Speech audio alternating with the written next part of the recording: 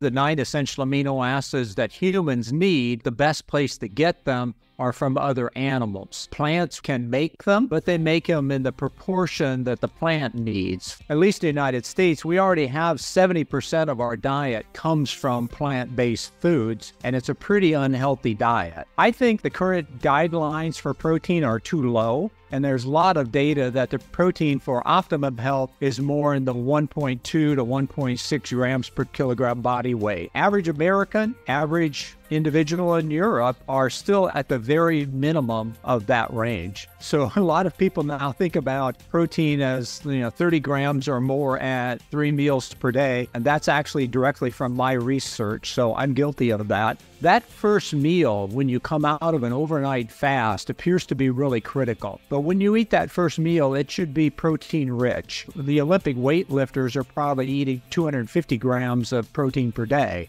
I think that an average healthy adult should be thinking in the one 100 to 130 range. If you're doing routine exercise and you're totally trained to do it, I don't think there's any particular window for protein after exercise. So whether you have it in the first 30 minutes or whether you have it at your next meal three and a half hours later, I think the net for the day is the same.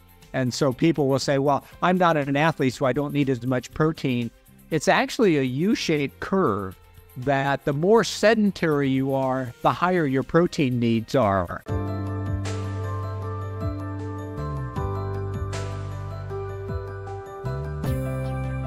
Hey there, welcome to the Happy Habit Podcast. I'm Matthew. I'm here every week talking to experts on health, well-being, and self-improvement. If you get any value at all from this series, please like, subscribe, and share with other people who you think might enjoy these episodes too. Well, in today's episode, I'm joined by world renowned expert in all things protein, Dr. Donald Layman. We hear exactly how much protein you need to consume every day. Is it true you need to consume protein within 30 minutes of exercise? We learn why your breakfast should be the highest protein meal of the day. Can vegetarians and vegans easily obtain their protein requirements from their chosen foods? Is intermittent fasting detrimental to our muscles? Does weight loss on Ozempic mean loss of muscle mass as well as fat loss? We hear why diets often fail because they don't fix muscle metabolism. And should you take protein powder or branch chain amino acids? This was one of my favourite episodes so far. No matter who you are, whether you're in your 20s and lifting weights or you're a 70 year old vegan, you are bound to get some value from this episode. I hope you enjoy. Well, let's talk protein at the outset and their building blocks, amino acids, because uh, many people won't be aware of the fact that while we produce many of those amino acids, we don't produce all of them. There are essential amino acids that we must get exogenously, in other words, from our diet. So, could we start by talking about that? We usually think of 20 naturally occurring amino acids that we have to have in the body. Of those, 11 the body can make, and nine the body can't make. So, just like a vitamin or a mineral, we have to have pretty much a daily supply of those nine. Uh, and, you know, one of the things to keep in mind is where we get them. We're looking to have the nine essential amino acids that humans need. And so it turns out that the best place to get them are from other animals. Plants can make them, uh, but they make them in the proportion that the plant needs for leaves and stems and flowers and seeds, which are pretty different than brains and hearts and livers and muscles. So, so we have to get these nine in a, in the right proportions each day. Well, that's interesting because you're you're broaching a subject that I didn't want to get into quite yet, but now that you've you've mentioned it, yeah, I may as well delve a little bit deeper because it will trigger some people. Are you saying that we are inherently omnivorous and that we must ingest some proportion of our protein, our amino acids from a meat source? No, I wouldn't go quite that far. There's a lot of theories out there that human evolution occurred because we were able to have more what we would call nutrient dense foods. You know, if we just eat uh, nothing but plant foods, they're fairly um, nutrient poor. Uh, so you have to eat higher amounts of calories, usually get it. So uh, people can do it. It takes a lot of food knowledge and a lot of food skill to do it. Uh, one of the statements I often like to tell people is, at least in the United States, we already have 70% of our diet comes from plant-based foods, and it's a pretty unhealthy diet. Uh, we're getting a lot of highly processed foods, a lot of processed fats, a lot of processed sugars, and a lot of processed grains. And so uh, it's not that it's impossible, but basically to do it well, to get adequate essential amino acids, most people are committing to fairly highly processed food sources. Uh, and there's a lot of people who, you know, think that a uh, a meal that has 25 chemicals in it to create a food might not be healthy in the long run versus something uh, like milk or eggs or meats that basically have no chemicals in them uh, other than what's natural. So the question is, how do you do it? And do people have the food knowledge and food skills to make it work? What would you say to those people, though, who would uh, who would categorize themselves as uh, vegetarians or, or vegans and uh, who eat very cleanly as far as they're concerned? What would you say to those people who uh, would contest the fact that they can get all of their nutrients, their macronutrients, and their amino acids uh, from the foods that they choose to uh, so very carefully select? They they can do that, but the question is, they're highly committed to doing it, and they're very knowledgeable. The average consumer can't do that. If you look worldwide, 80% of the plant based protein, 80% of the protein coming from plants comes from wheat. Wheat is deficient in four essential amino acids. So if you look at use of beans and lentils and peas and seeds and and uh, soy products, things that we would all consider higher quality plant-based proteins, they make up less than nine percent of the plant-based protein in the United States. So people aren't eating them. So the idea that someone can pull off a healthy diet is absolutely true. Can the general population switch to it? The evidence is highly, there's lots of data out there that the average person can't. And in fact, the more plant based they become, the poorer the diet becomes. It takes a lot of food knowledge and a lot of food skill Again, the average American doesn't have either of those to pull it off.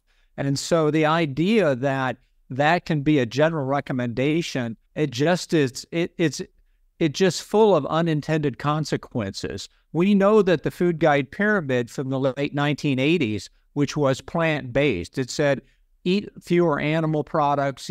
We decreased the level of meats in the diet by 35%, beef went down by 40%, eggs went down by 35%, dairy went down by 35%.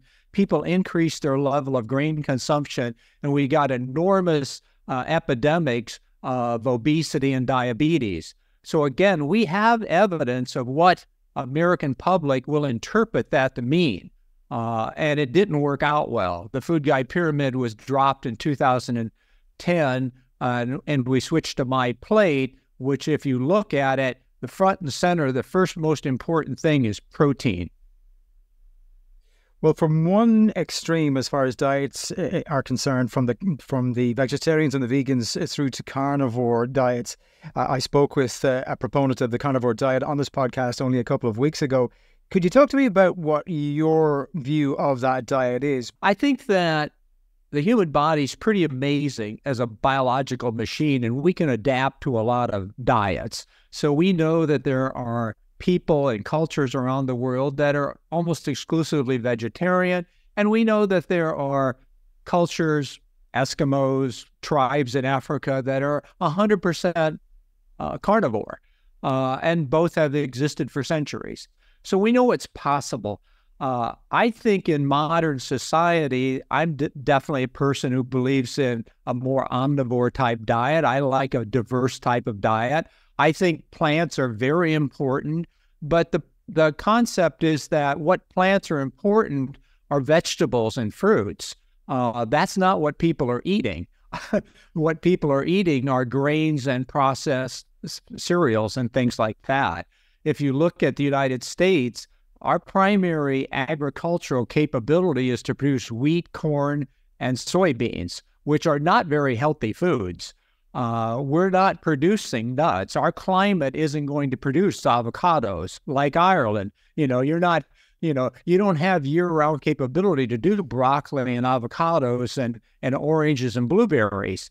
Uh, you know, and so I think people need to come to grips with people in different climates evolve to eat different foods, and we can do that. But once you start making diet decisions, it makes other decisions for you, things like physical activity and things like that. So I think that the current guidelines for protein are too low. Uh, I think the RDA is what it is intended to be, which is the minimum to prevent a deficiency. Uh, I don't think very many adults would say, What I'm really looking for is minimum health. What I'm really looking for is optimum health. And there's a lot of data that the protein for optimum health is more in the 1.2 to 1.6 grams per kilogram body weight. So, average American, average individual in Europe are still at the very minimum of that range.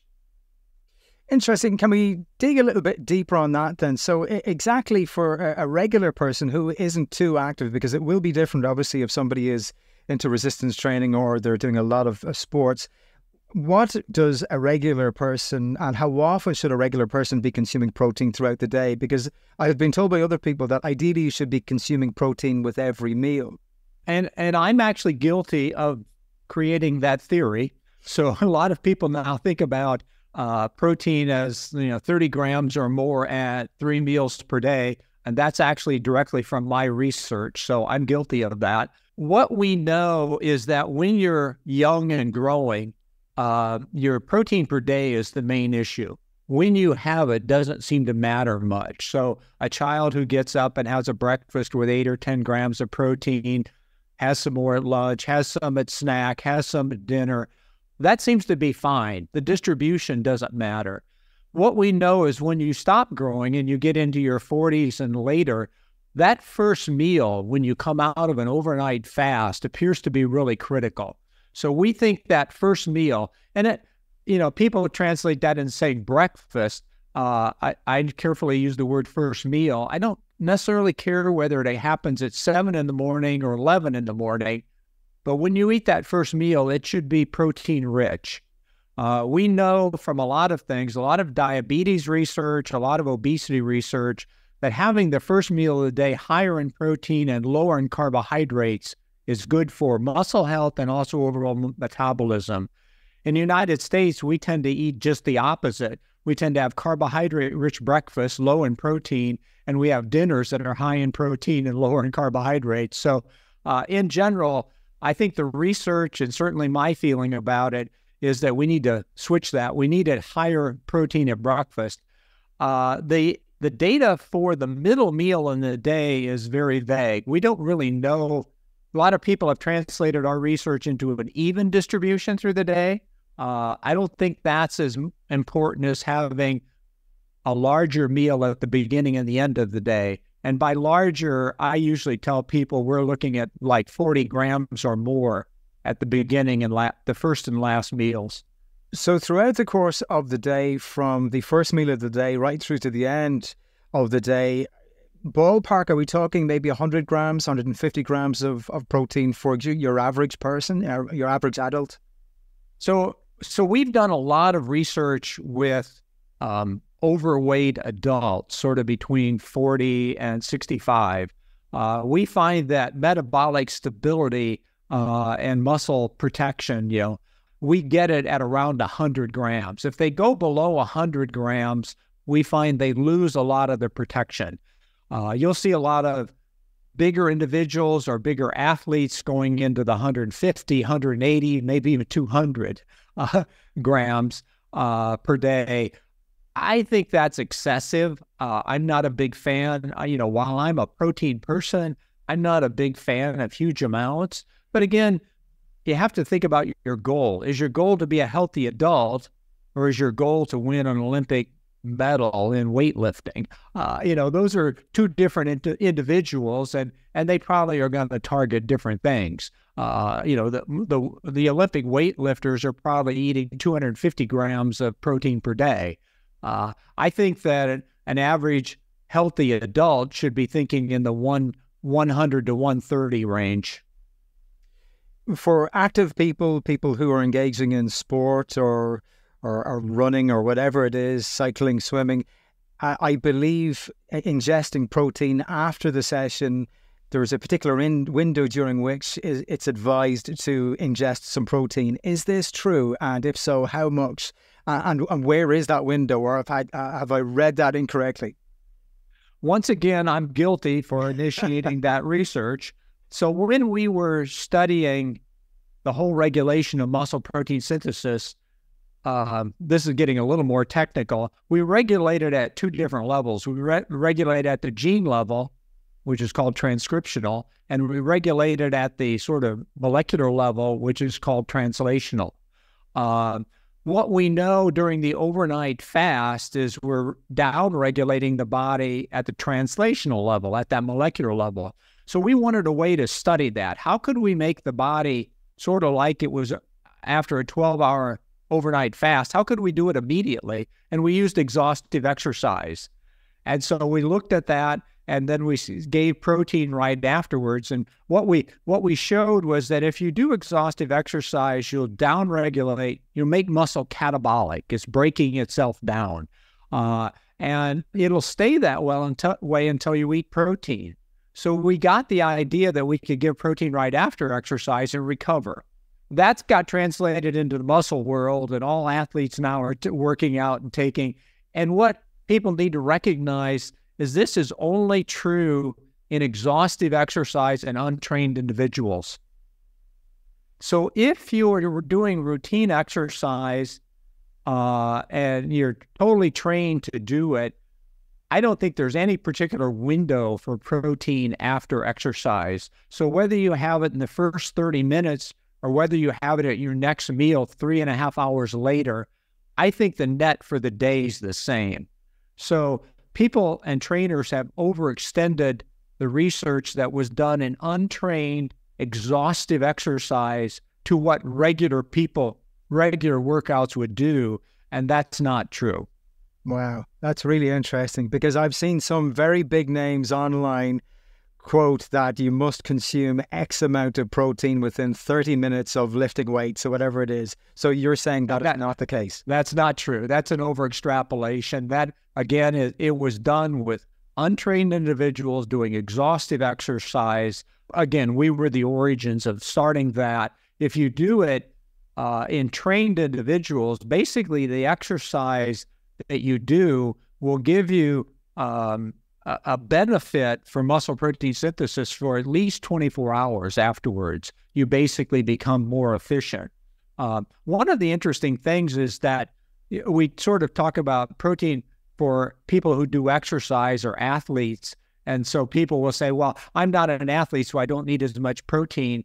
It's actually a U shaped curve that the more sedentary you are, the higher your protein needs are.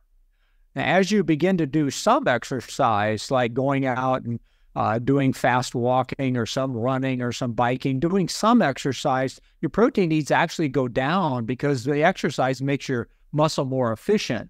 And then as you become an extreme athlete, where you're doing, you know, training 10 miles a day for doing marathons or something, now your protein goes back up again. So it's actually a U shaped curve. The more sedentary you are, the more protein you need. If you're reasonably active, it actually makes your so our comment earlier about vegetarians, if you're going to choose to be a vegetarian, then you darn well better be pretty physically active.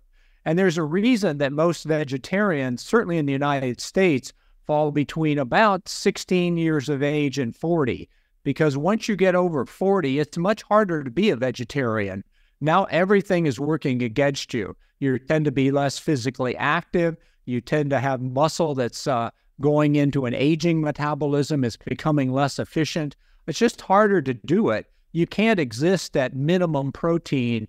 Uh, you know, 0.8 grams per kg body weight doesn't work very well for a 60 year old. fasting. If you fast or if you engage in intermittent fasting, are you at risk of losing some muscle mass as a result? Fasting is something you really need to define the time. So, intermittent fasting, um, one form of that is just time restricted fasting. You know, we, we're talking about protein, but if somebody would ask me, what's the single most important thing to do in nutrition? I would say get calories correct. Being overweight, excess calories is the root of diabetes, obesity, heart disease, cancer. If you name it, it's due to calories. So the first thing is getting calories in check. And if eating two meals a day is a way for you to control your calories, I think that's a great choice condensing the time frame, uh, eating once at 11 and another time at 6. That's great. Intermittent fasting, I start hearing people say, well, I'm going to fast one day a week, or I'm going to fast for 48 hours every two weeks, or something. I think that is something a 25 year old can do because we can recover. But I think that's something that 60 year old should never do because, to your basic point, is once a 60 year old loses muscle mass, and if you go into a fast, uh, you're becoming catabolic. You want to keep that fasting period as short as possible because if you actually lose muscle mass, you will never get it back.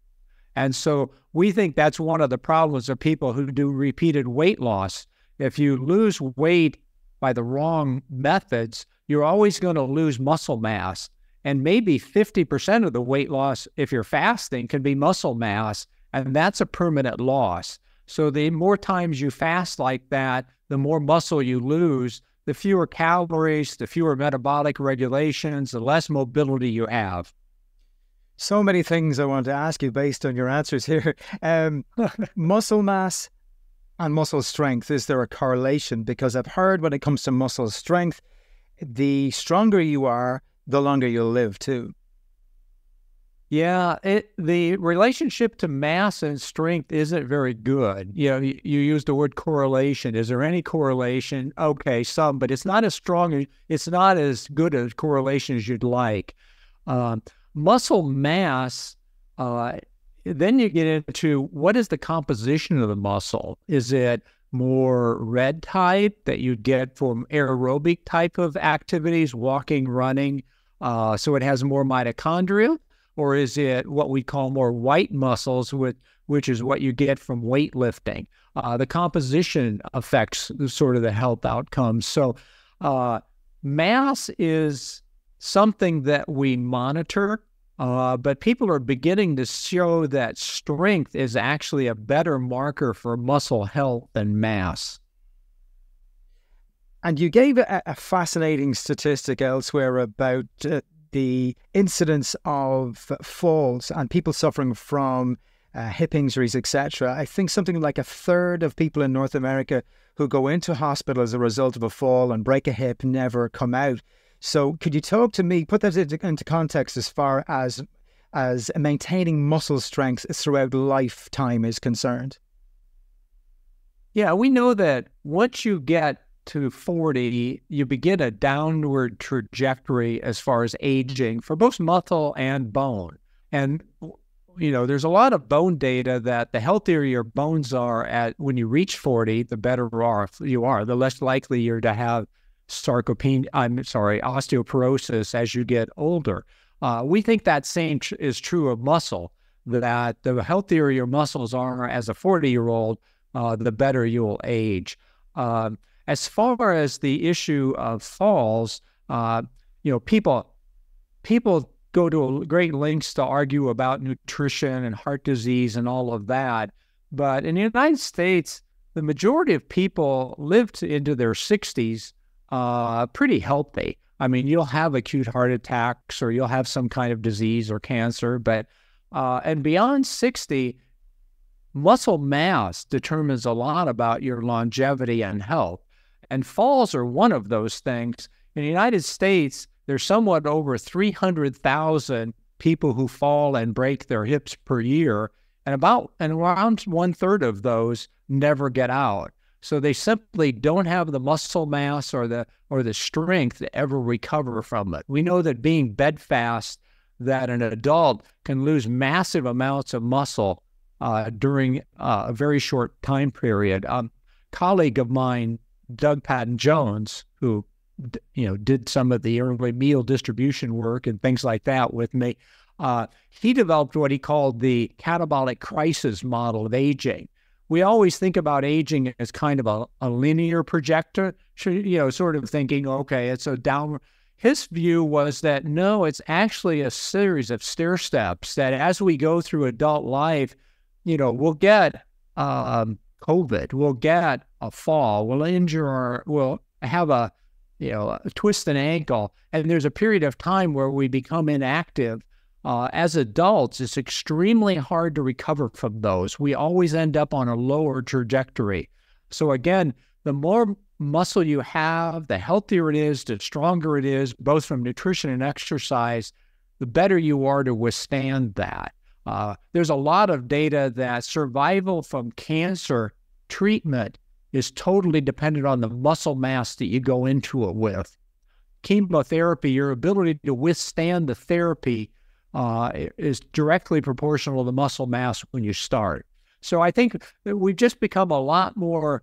Dr. Gabrielle Lyon and I have had a have basically put out a lot of information about muscle centric health. We think that if your muscles are healthy, your ability to live a long, healthy life greatly goes up. Fascinating. I spoke with a professor, Karen Esser. She's a physiologist at the University of Florida a few weeks ago on this very subject, and she was uh, talking about the benefits of resistance training uh, when it came to maximizing both uh, muscle mass and strength as you age. Uh, what are your views on resistance training? I think ideally that uh, people need a combination of both. I think that all adults need to do some form of resistance exercise, and that could be going to a gym. I kind of a gym rat. I like going to a gym and lifting weights. Uh, but yoga, Pilates, uh, even isometric things at home, doing push-ups, doing getting up and down out of a chair, walking stairs, anything that is resistance to your body weight uh, is critical. People need to do something consciously about that at least twice a week. Uh, aerobic exercise is good for the heart and the pulmonary system. So, you know, I think people should be looking at three, four, five times a week where they do something that stimulates their heart rate, whether that's swimming or biking or running if you can, uh, elliptical, whatever it is, you need to have something. Just walking fast. But people need to recognize that just going out for a stroll has very little benefit. It burns some calories, but it really doesn't do much for your muscles or your cardiovascular system. So people confuse, you know, going for a gentle walk uh, as you know time spent in exercise, and it's really minimal. But I still, one of my colleagues said, you know, uh, said, well, what's the best exercise? And his response was, whatever exercise you'll do. So I think most people need to just start with the fact that in modern societies we're pretty sedentary so you need to start doing something. Ideally, it'll be a combination of resistance exercise and more aerobic exercise. But, you know, that's a pretty high bar for some people. But just getting up and stretching in the morning, uh, people forget, people think that for exercise, you know, lifting the concentric contraction, lifting a barbell, it's actually the eccentric, it's stretching out with the barbell that does the most. If you look at falls, for example, 90% of falls occur going down steps. It's the eccentric motion going down that we're not very strong at. It's not the concentric motion going up. And so, you know, people need to recognize how to do exercise too. And most people don't have the right knowledge of how to do it. So it's the lowering of the weight down rather than the lifting of the weight, which is the important part. Yeah. So a lot of people will lift the barbell and then drop it. They're missing more than 50% of the effect. You know, they actually should, you know, bring it up quick, but then lower it down slowly. This is so true. And you're talking about all of those annoying people in the gym that just drop the weight to the floor. Yeah. No, I know them too well, as I'm sure many of the audience yeah. do. Can we can we talk about muscles and insulin resistance and its role in and muscles' role in diabetes? So muscle is widely regarded as the primary user of carbohydrates in the diet. Uh, we need to step back a little bit and think about what we call obligatory glucose users, blood sugar users, the brain, the red blood cells, the nerve cells, the kidney. We need about 80 to 100 grams of glucose per day just to feed those cells. Some people will say, well, we don't actually need any carbohydrates in the diet because we can make that from protein, but we don't do that very efficiently. So, in general, uh, we always say there's a carbohydrate requirement of around 100 grams. The actual RDA is 130. The in the United States, the average adult's eating 300, three times the requirement. That's why we have obesity. People will comment about obesity and fat, dietary fat or dietary. It's a carbohydrate problem. We're, you know, if if your if your role in life is being a construction worker or digging ditches like back in the 1900 uh, era, uh, then you can eat a lot of starches. You can eat a lot of carbs, but that's not our lifestyle anymore. So basically, 100, 100 to 130 is kind of your target, and you go from there. Muscle then becomes the primary user of carbohydrate beyond the brain and nervous system. Muscle can use carbohydrates and exercise, for example, it ranges from about 40 to 70 grams per hour of exercise, depending on the intensity. So, for someone just going out and taking a walk, if you go out and do an hour's worth of walking, uh, you might increase your carbohydrate need by maybe 40 grams. So now you've gone from 100 to 140.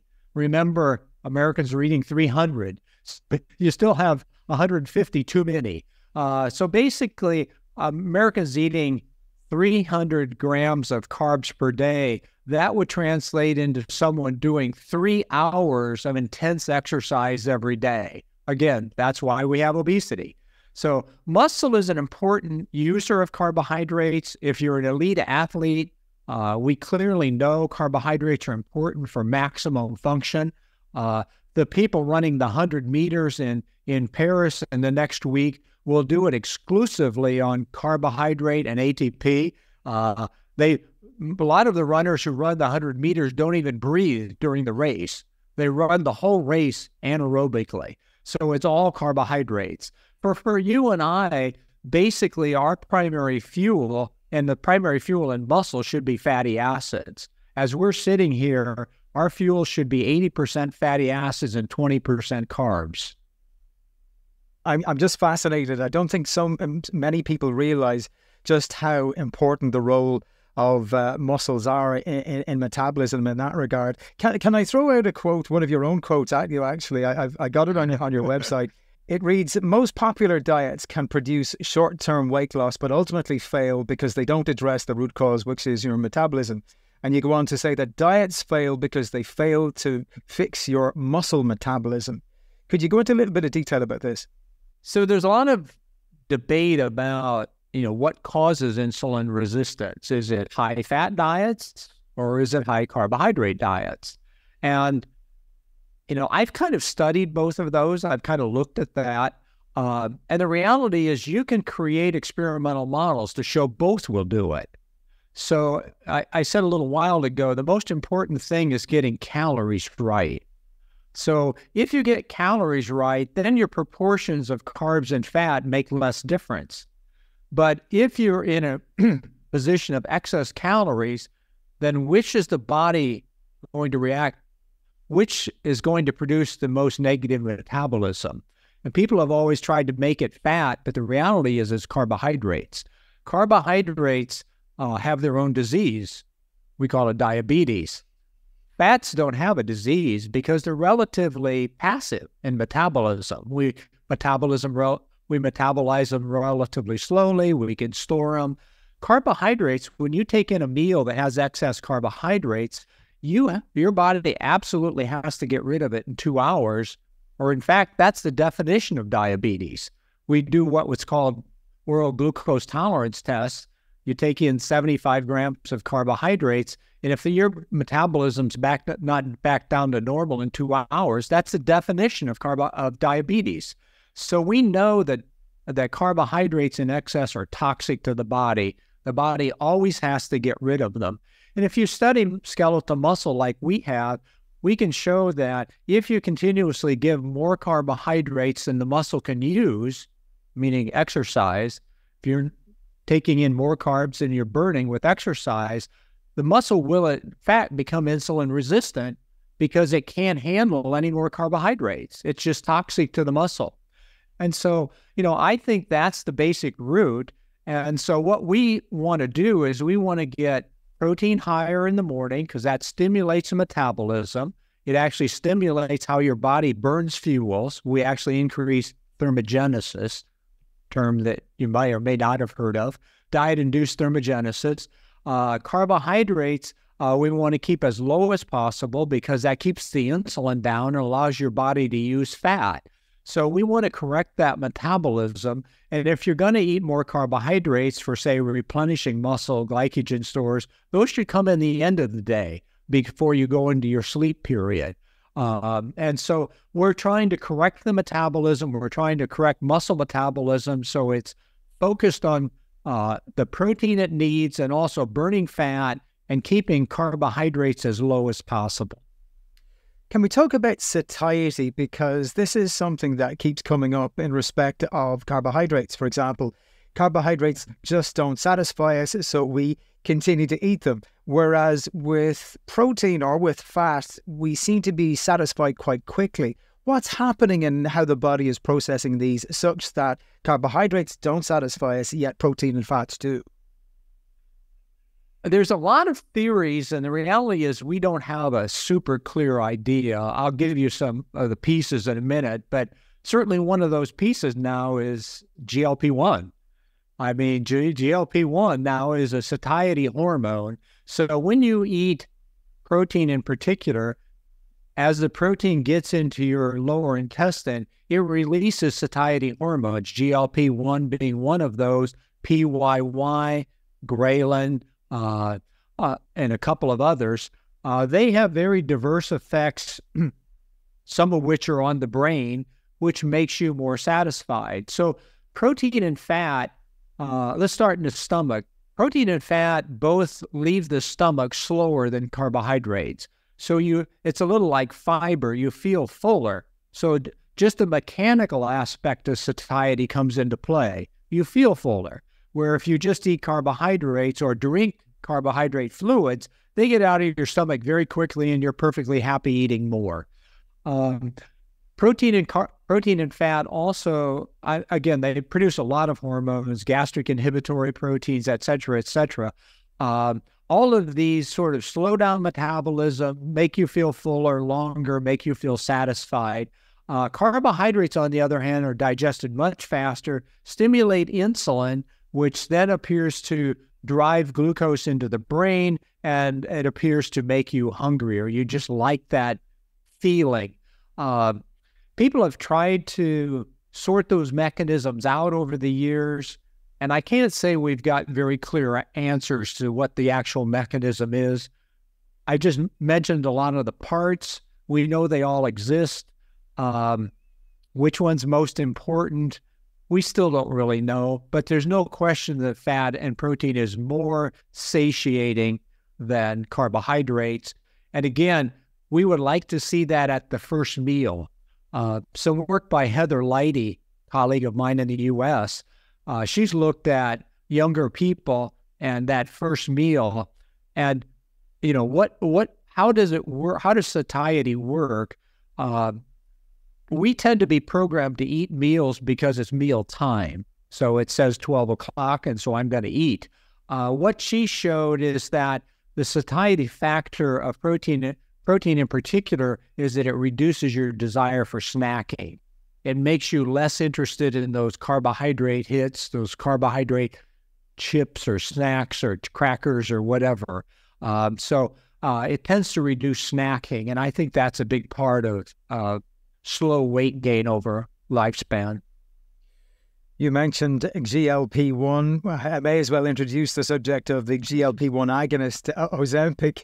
Uh, I know your thoughts on this already, but if you you can clarify them for uh, the audience today, uh, the major downside, I believe, of the Ozempic is that you lose weight, but you also lose that all important muscle mass. Yeah. So clearly that's been popular. And my initial reaction to it was to be very negative. I've sort of moderated that. The, the risk is how fast you lose weight. Uh, if you lose weight faster than, say, two pounds a week, it has to be coming from lean body mass. It has to be coming from muscle mass. And we think for adults that's going to be a permanent loss.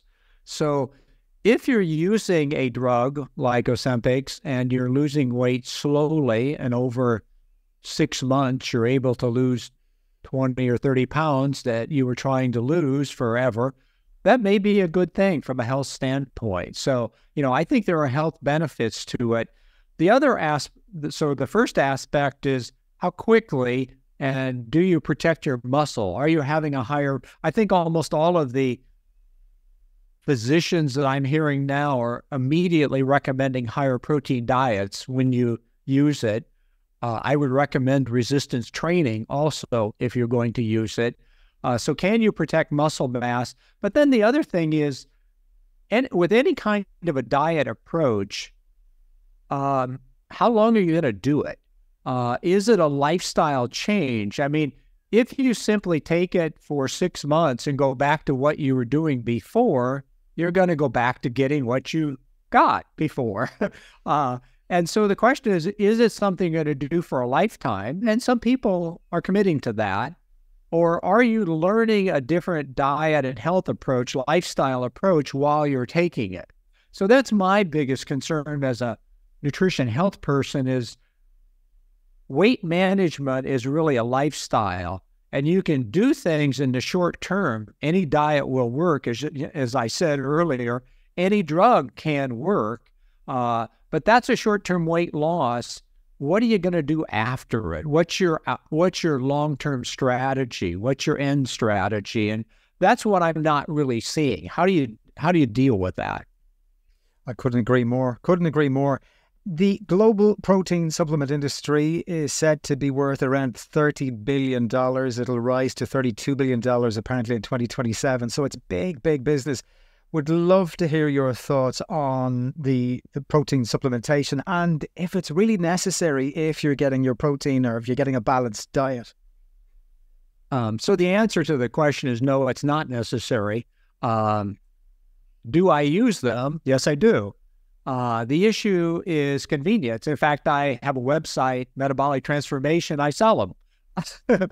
uh, the the issue is convenience and age and calories and all of that. So what we know, and I've said multiple times now, is your first goal is you have to control calories.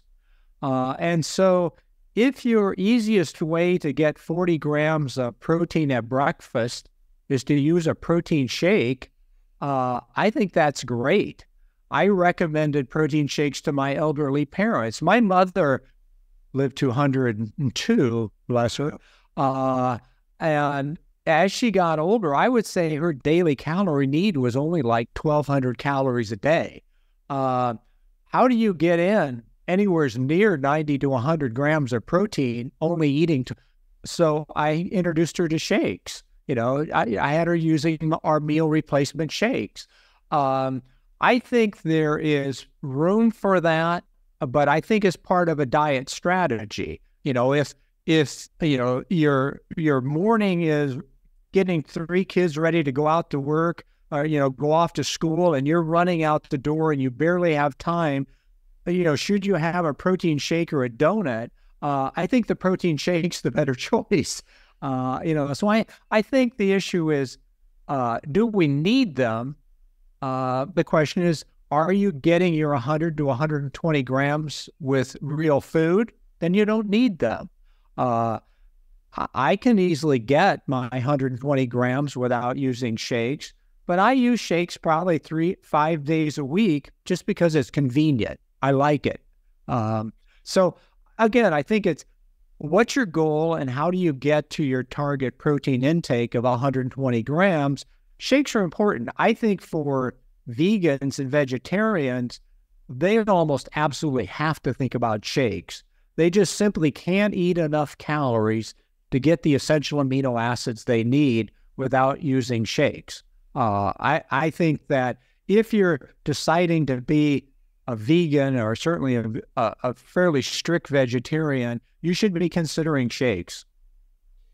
Really glad I asked you that question because I've started consuming uh, protein shakes myself. Again, out of convenience, I, I, I, already consume poultry and fish as it is, but uh, as I mentioned, it's just sometimes more convenient to ingest a, a protein shake.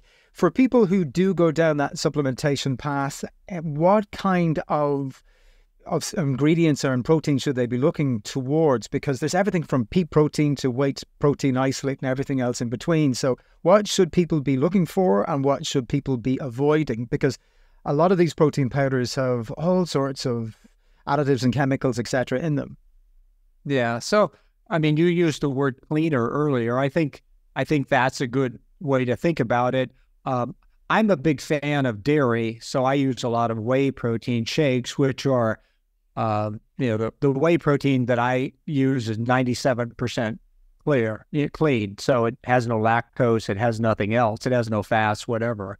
Um, if you look at most, a lot of the vegetable proteins, a lot of them can be as low as 60% pure.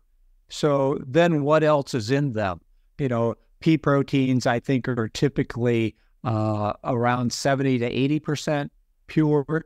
Um, uh, so what else is there? Uh, chances are it's fiber. And if there's fiber there, that means the protein that there's not is bioavailable. Part of it's bound to fiber, and so the human body can digest it. So, uh, you know, you you need to look at what the purity of it is, and then the next step is if you're going to use uh, a, a protein supplement, one of the things you're looking for is the level of the amino acid leucine in it what my research showed and where the whole 30 grams of protein comes from is the uh, understanding that it requires a certain amount of the amino acid leucine to stimulate muscle protein synthesis. That is becomes increasingly important as you get beyond 40. Little less important. Leucine's important for a 25 year old, but not as important.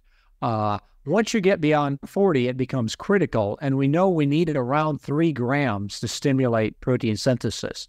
So when you look at your serving of pea protein, it says use one scoop. Then you need to know how much leucine's in that scoop, and you're going to find out it's around 1.8. So you need at least two scoops to make that work. Uh, with whey protein, you need about 20 grams with soy protein, you need about 33 grams of protein. With wheat protein, you need around 45 grams. With pea protein, you need around 35 or 6. So, again, the serving size you need to really think about as to how much leucine you're getting. And so, uh, pea protein or soy protein can be perfectly fine, but it always takes more total protein and more total calories to be equal to something like whey protein. So, you know, people who want to use the vegetarian, and in fact, I sell a, a plant based protein shake, uh, but you have to know how to do it. Uh, I have supplemented it with leucine to make it correct. Uh, so, again, all of those things are things that if you're going to use supplements, you need to be a knowledgeable consumer because all proteins aren't equal. And then uh, just one final question then before I let you go. Uh, branched chain amino acids, you can find these in, in, your local nutrition store. What are these and how are these different then from the protein uh, powder that we were talking about a minute ago? So, so as we said earlier, there are nine essential amino acids. Three of those are the branched chain amino acids, leucine that I just mentioned, isoleucine, and valine. Uh, it turns out that those three are very unique, and that's actually what most of my research has been. Uh, they're uniquely metabolized in muscle. They have a very specific muscle effect. Um, where all the other amino acids are metabolized in liver. Uh, so just make that distinction. Uh, as far as supplementing just the branched chain amino acids, what we showed was that you can stimulate muscle protein synthesis. You can trigger the mechanism with just leucine. But as soon as you trigger it, then you need all 20 amino acids to make it work. You know, without without the building blocks, you can't, you know, without the bricks, you can't build the wall. Okay. So as soon as leucine triggers protein synthesis, then you need all 20. And so should I take a leucine supplement? Well, probably not. You need all the protein, you need all of the amino acids. Uh, the branch chains are interesting is that when you trigger with leucine, you trigger protein synthesis, but you also trigger its oxidation at the same time. And when leucine is oxidized, it triggers the oxidation of the other two. And you'll see supplements out there of a two to one to one ratio because that's the ratio we showed they're oxidized. So once you trigger leucine oxidation, it metabolizes one of each of the other two. So you'll see supplements out there two to one to one. Um, should people do that? Well, again, as soon as you trigger that whole mechanism, you need the other 17. So I think it's a waste of money. Uh, uh, I think that those supplements are a total waste of money, with the one exception. If you're in a situation, for example, where you're really concerned about muscle loss, you're like doing weight loss, you're going to have a small lunch that only has 15 grams of protein in it. So you only have maybe 1.5 grams of leucine.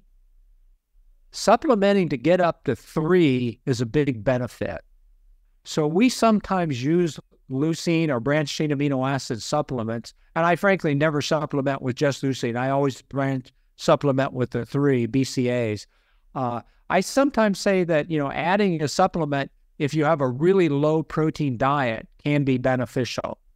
So once again, somebody who's uh, catabolic, somebody who uh, an elderly person with a small lunch, somebody who's losing weight, maybe a vegetarian, uh, they could all perhaps gain from a BCA supplement. If you're an athlete eating 100, 200 grams of protein per day, the last thing you need is spending money on on BCAAs. There's there's a reason athletes are always joked about of having the most expensive urine in the world.